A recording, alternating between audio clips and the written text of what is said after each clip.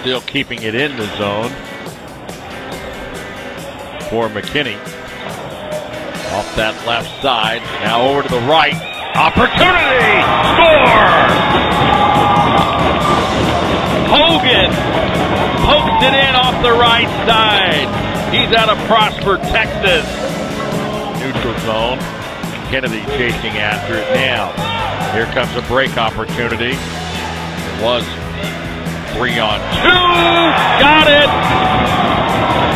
Nice job inside. Bachman out of the way.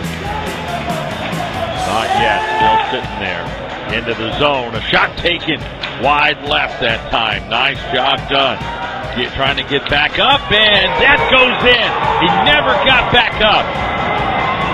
That one goes in. Hayden Fox keeping that thing in the zone from getting out of there. Back out to the point there. Got 104 left in the power play. Shot to the middle, wide open. Got it. Power play goal.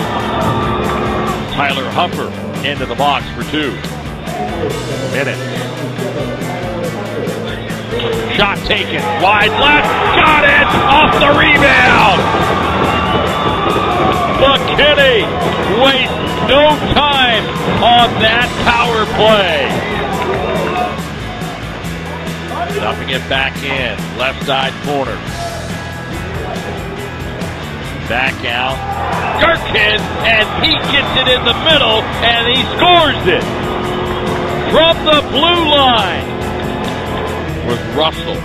One minute remaining in the period number three.